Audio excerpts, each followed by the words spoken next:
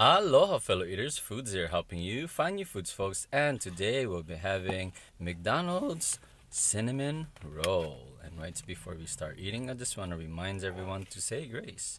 We must remember that all these gifts are from God, who nourishes us all and give us the wisdom and strength to endure anything.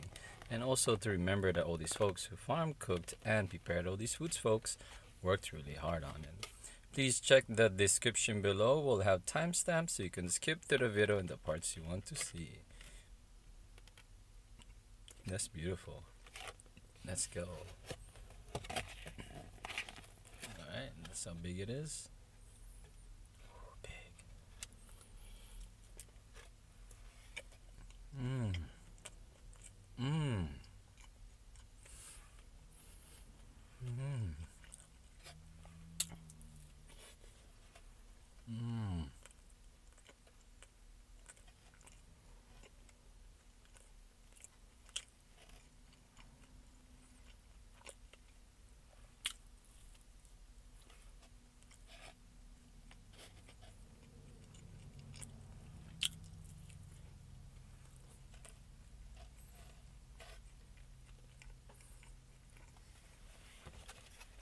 Wow.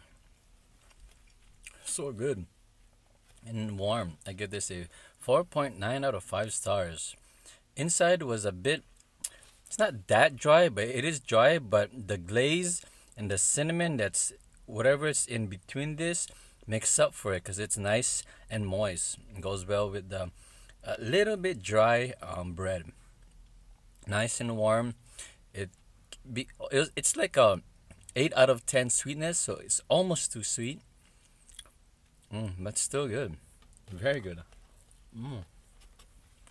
Mm-hmm. Mm. The chew is not like um a soft um it's more like a soft firm chew because it's a little bit a bit dry. If it's if it's a little bit more softer, it would have been better. Then I would have given five out of five stars. Yeah, it's good. Thank you folks for watching and for more Foodz Unboxes right there folks and for other foods right there. And don't forget when you subscribe you're also supporting all these folks who farm, cooked and prepared all these